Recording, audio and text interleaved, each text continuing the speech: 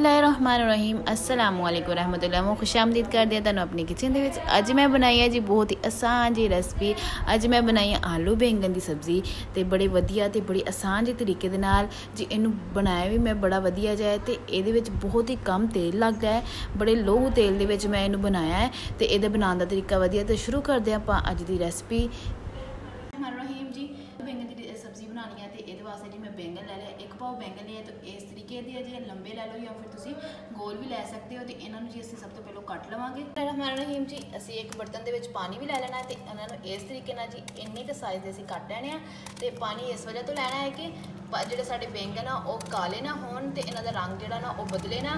ਤੇ ਪਾਣੀ ਦੇ ਵਿੱਚ ਇਸ ਲਈ ਅਸੀਂ ਇਹਨੂੰ ਕੱਟੀਦਾ ਹੈ। ਤੇ ਇਹਨਾਂ ਨੂੰ ਜੀ ਇਸੇ ਤਰੀਕੇ ਨਾਲ ਤੁਸੀਂ ਇਸ ਤਰ੍ਹਾਂ ਦੇ ਸਾਰੇ ਕੱਟ ਲੈਣੇ ਆ। ਤੇ ਅਗਰ ਤੁਹਾਡੇ ਕੋਲ ਬੜੇ ਵਾਲੇ ਬੈਂਗਨ ਆ ਤੇ ਉਹਨਾਂ ਨੂੰ ਤੁਸੀਂ ਲੰਬੇ ਰੋਖ ਵੀ ਕੱਟ ਸਕਦੇ ਹੋ। ਤੇ ਇਹਨਾਂ ਨੂੰ ਜੀ ਮੈਂ ਇਦਾਂ ਸਾਰੇ ਬੈਂਗਨਾਂ ਨੂੰ ਜੀ ਕੱਟ ਲਵਾਂਗੀ।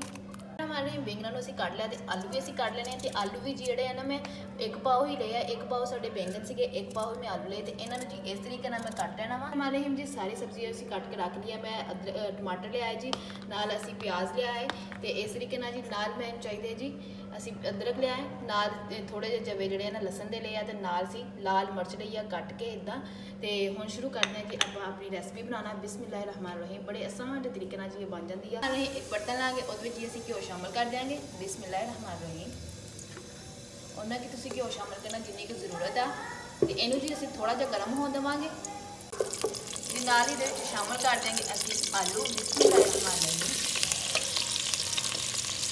ਆਲੂ ਨੂੰ ਵੀ ਅਸੀਂ ਇਹਦੇ ਵਿੱਚ ਚੋਲ ਦੇ ਵਿੱਚ ਫਰਾਈ ਕਰ ਲੈਣਾ ਚੰਗੀ ਤਰ੍ਹਾਂ ਮਤਲਬ ਥੋੜੇ ਜਿਹਾ 골ਡਨ ਜੇ ਹੋ ਜਾਣ ਸੁਨਹਿਰੀ ਜਿਹਾ ਇਹਨਾਂ ਦਾ ਰੰਗ ਹੋ ਜਾਵੇ ਤੇ ਉਹਨਾਂ ਦੀ ਅਸੀਂ ਇਹਨਾਂ ਨੂੰ ਫਰਾਈ ਕਰ ਲਵਾਂਗੇ। ਮੈਂ ਜੀ ਢੱਕ ਕੇ ਤੇ ਫਰਾਈ ਹੋਣ ਦਵਾਂਗੇ 5 ਮਿੰਟ ਵਾਸਤੇ। ਤਾਇ ਰਹਿਮਾਨ ਰਹੀਮ ਹਮਾਰੇ ਤੱਕ ਕਿ ਅਸੀਂ ਆਲੂ ਫਰਾਈ ਕਰਨ ਵਾਸਤੇ ਰੱਖੇ ਹੁਣ ਤੇ ਤੱਕ ਕਿ ਇਹਨਾਂ ਦਾ ਅਸੀਂ ਪੇਸਟ ਬਣਾ ਲਾਂਗੇ, ਅਦਰਕ, ਲਸਣ ਦਾ ਤੇ ਮੈਂ ਇਹਨਾਂ ਨੂੰ ਜੀ ਕੁੱਟ ਲਵਾਂਗੀ। ਹਮਾਰੇ ਰਹੀਮ ਮਾਸ਼ਾਅੱਲਾ ਜੀ ਇਸੇ ਤਰੀਕੇ ਨਾਲ ਜੀ ਅਸੀਂ ਅਦਰਕ, ਲਸਣ ਦਾ ਪੇਸਟ ਤਿਆਰ ਕਰ ਲਿਆ ਹੈ ਜੀ, ਹੁਣ ਅਸੀਂ ਆਪਣਾ ਹਮਾਰੇ ਮਾਸ਼ਾਅੱਲਾ ਜੀ ਆਲੂ ਨੂੰ ਅਸੀਂ ਵਧੀਆ ਜਿਹਾ ਫਰਾਈ ਕਰ ਲਿਆ ਇਸ ਤਰੀਕੇ ਨਾਲ ਤੁਸੀਂ ਕਰਨਾ ਬਹੁਤੇ ਨਹੀਂ ਫਰਾਈ ਕਰਨੇ ਤੇ ਇਹਨਾਂ ਨੂੰ ਜੀ ਮੈਂ ਹੁਣ ਪਲੇਟ ਦੇ ਵਿੱਚ ਕੱਢ ਲਵਾਂਗੀ। ਬਿਸਮਿਲ੍ਲਾਹਿਰ ਰਹਿਮਾਨ ਰਹੀਮ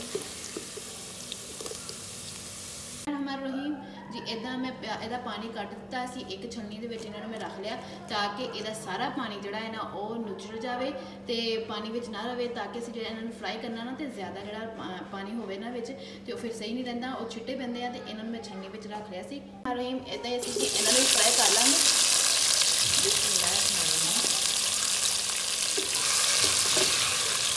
ਬੈਂਗਨ ਵੀ ਜਿਹੜੇ ਨਾ ਅਸੀਂ ਜਿੱਦਾਂ ਅਸੀਂ ਆਲੂ ਫਰਾਈ ਕੀਤੇ ਆ ਇਦਾਂ ਹੀ ਕਿ ਅਸੀਂ ਬੈਂਗਣ ਵੀ ਫਰਾਈ ਕਰ ਲੈਣੇ ਆ। ਵਧੀਆ ਜੀ ਇਹਨਾਂ ਨੂੰ ਵੀ ਅਸੀਂ 5 ਮਿੰਟ ਤੱਕ ਢੱਕ ਕੇ ਤੇ ਫਰਾਈ ਕਰ ਲਵਾਂਗੇ। ਰਹੀਮ 5 ਮਿੰਟ ਤੱਕ ਅਸੀਂ ਇਹਨੂੰ ਜੀ ਪਕਾ ਲਵਾਂਗੇ। ਹਮਾਰੇ ਫਰਾਈ ਕਰਦੇ ਵਕਤ ਜੀ ਅਸੀਂ ਥੋੜੀ ਜਿਹੀ ਵਿੱਚ ਹਲਦੀ ਜਿਹੜੀ ਆ ਨਾ ਉਹ ਸ਼ਾਮਲ ਕਰ ਦੇਣੀ ਆ ਤਾਂ ਕਿ ਜਿਹੜਾ ਇਹਨਾਂ ਦਾ ਰੰਗ ਹੈ ਨਾ ਉਹ ਕਾਲਾ ਨਾ ਹੋਵੇ ਵਧੀਆ ਜਿਹੜਾ ਨਾ ਬਿਲਕੁਲ ਜਿਸ ਤਰ੍ਹਾਂ ਦੀ ਤੜਕਾ ਲਾਈਦਾ ਉਦੋਂ ਦਾ ਰੰਗ ਆ ਜਾਵੇ। ਤੇ ਇਹਨੂੰ ਜੀ ਅਸੀਂ ਹਿਲਾ ਲਵਾਂਗੇ ਥੋੜਾ ਜਿਹਾ। ਇਦਾਂ ਜੀ ਬਹੁਤ ਵਧੀਆ ਜਿਹਾ ਇਦਾਂ ਰੰਗ ਹੋ ਜਾਂਦਾ ਇਹਦਾ ਤੇ ਵਰਨਾ ਅਗਰ ਅਸੀਂ ਹਲਦੀ ਨਾ ਪਾਈਏ ਇਹਨੂੰ ਉਦਾਂ ਹੀ ਫਰਾਈ ਕਰ ਲਈਏ ਤੇ ਇਹ ਜਿਹੜੇ ਬਿਲਕੁਲ ਜਿਹੜੇ ਨਾ ਕਾਲੇ ਹੋ ਜਾਂਦੇ ਆ ਤੇ ਉਹ ਚੰਗੇ ਨਹੀਂ ਲੱਗਦੇ ਖਾਣ ਨੂੰ। ਹਮਾਰੇ ਹੀ ਵਧੀਆ ਜਿਹਾ ਇਹਨਾਂ ਨੂੰ ਮੈਂ ਫਰਾਈ ਕਰ ਲਿਆ। ਹੁਣ ਇਹਨਾਂ ਨੂੰ ਵੀ ਅਸੀਂ ਇੱਕ ਪਲੇਟ ਦੇ ਵਿੱਚ ਵੱਖਰਾ ਕੱਢ ਲਵਾਂਗੇ। ਬਿਸਮਿਲ੍ਲਾਹਿਰ ਰਹਿਮਾਨ ਰਹੀਮ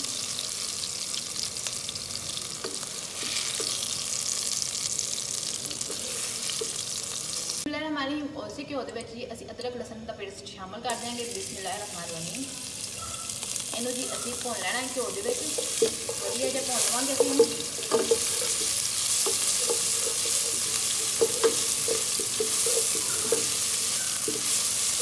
ਇਹਨੂੰ ਰਹੀਮ ਇਹਦੇ ਵਿੱਚ ਹੀ ਅਸੀਂ ਜ਼ੀਰਾ ਤੇ ਥੋੜਾ ਜਿਹਾ ਨਾ ਧਨੀਆ ਸ਼ਾਮਲ ਕਰਾਂਗੇ। ਬਿਸਮਿਲ੍ਲਾਹਿਰ ਰਹਿਮਾਨ ਰਹੀਮ ਇਹਨਾਂ ਵਧੀਆ ਜੀ ਖੁਸ਼ਬੂ ਆਉਂਦੀ ਆ ਤੇ ਇਹਨਾਂ ਨੂੰ ਜੀ ਅਸੀਂ ਭੁੰਨ ਲੈਣਾ ਚੰਗੀ ਤਰ੍ਹਾਂ।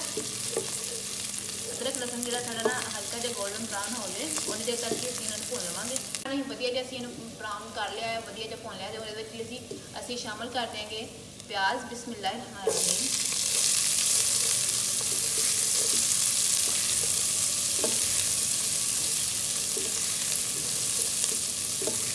ਇਹਨੂੰ ਵੀ ਜੀ ਅਸੀਂ ਭੁੰਨ ਲੈਣਾ ਚੰਗੀ ਤਰ੍ਹਾਂ।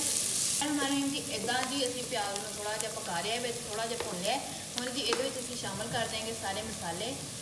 ਮਤਲਬ ਅਸੀਂ ਨਮਕ ਸ਼ਾਮਲ ਕਰ ਦਿਆਂਗੇ। ਬਿਸਮਿਲ੍ਲਾਹ ਰਹਿਮਾਨੀ ਆਪਣੇ ਸਵਾਦ ਦੇ ਮੁਤਾਬਕ ਜਿੰਨਾ ਤੁਸੀਂ ਸ਼ਾਮਲ ਕਰਨਾ ਚਾਹੋ ਉਹਨਾਂ ਕਰ ਲਓ।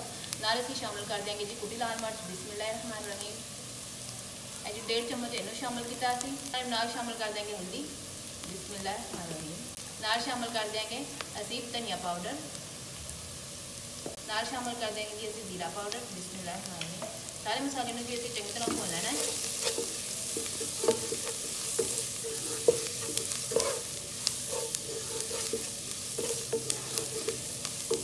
ਥੋੜਾ ਜਿਹਾ ਵਿੱਚ ਅਸੀਂ ਪਾਣੀ ਜਿਹੜਾ ਨਾ ਉਹ ਸ਼ਾਮਲ ਕਰਾਂਗੇ ਤਾਂ ਕਿ ਮਸਾਲੇ ਤੇ ਜਿਹੜਾ ਸਾਡਾ ਪਿਆਜ਼ ਆ ਉਹ ਚੰਗੀ ਤਰ੍ਹਾਂ ਗਲ ਜਾਣ ਤੇ ਵਧੀਆ ਜਿਹੜਾ ਨਾ ਸਾਡਾ ਤੜਕਾ ਜਿਹੜਾ ਉਹ ਤਿਆਰ ਹੋ ਜਾਏ ਹਮਾਰੇ ਨਾਲ ਅਸੀਂ ਸ਼ਾਮਲ ਕਰ ਦੇंगे ਟਮਾਟਰ ਬਿਸਮਿਲ੍ਲਾਹ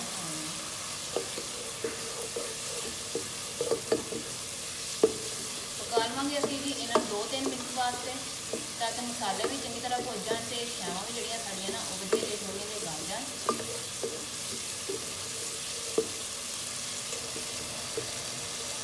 ਹਮਾਰੇ ਵਧੀਆ ਜਿਹਾ ਅਸੀਂ ਮਸਾਲਾ ਭੁੰਨ ਲਿਆ ਹੈ ਮਾਸ਼ਾਅੱਲਾ ਜੀ।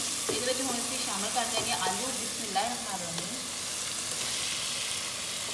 ਆਲੂ ਜਿਹੜੇ ਅਸੀਂ ਫਰਾਈ ਕਰਕੇ ਰੱਖੇ ਸੀ, ਉਹਨਾਂ ਨੂੰ ਅਸੀਂ ਸ਼ਾਮਲ ਕਰਕੇ ਤੇ ਥੋੜਾ ਜਿਹਾ ਹਿਲਾ ਕੇ ਇਹਨਾਂ ਨੂੰ ਪੱਕਣ ਵਾਸਤੇ ਰੱਖ ਦੇਵਾਂਗੇ। 2-4 ਮਿੰਟ ਵਾਸਤੇ ਅਸੀਂ ਬਿਸਮਿਲ੍ਲਾਹ ਰਹਿਮਾਨ ਰਹੀਮ 2-4 ਮਿੰਟ ਵਾਸਤੇ ਜੀ ਅਸੀਂ ਇਹਨਾਂ ਨੂੰ ਪੱਕਣ ਦੇਵਾਂਗੇ ਢੱਕ ਕੇ ਬਿਸਮਿਲ੍ਲਾਹ ਰਹਿਮਾਨ ਰਹੀਮ।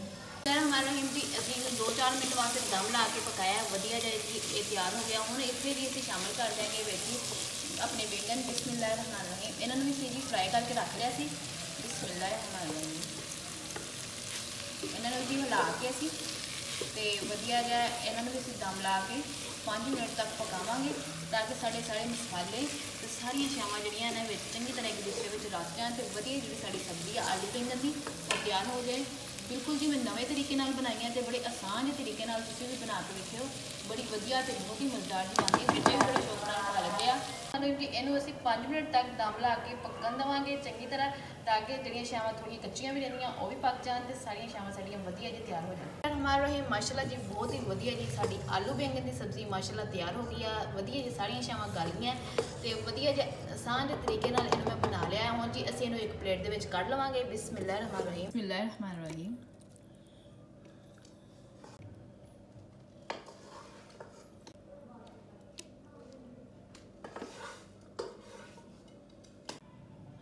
ਬਿਸਮਿਲ੍ਲਾਹਿਰਰਹਿਮਾਨਿਰਰਹੀਮ। ਮਾਸ਼ਾਅੱਲਾ ਜੀ, ਅਲਹਮਦੁਲਿਲਾ, ਬਹੁਤ ਹੀ ਵਧੀਆ ਜੀ, ਸਾਡੀ ਆਲੂ ਬੈਂਗਣ ਦੀ ਸਬਜ਼ੀ ਤਿਆਰ ਹੋ ਗਈ ਆ।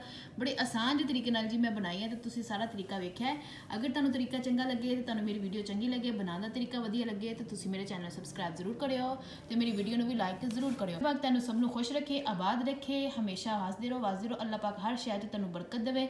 ਮੈਂ ਫਿਰ ਹਾਜ਼ਰ ਹੋਵਾਂਗੀ ਜੀ ਇੱਕ ਨਵੀਂ ਵੀਡੀਓ ਲੈ ਕੇ ਉਨੀ ਦੇਰ ਤੱਕ ਜੀ ਅੱਲਾ ਹਾਫਿਜ਼।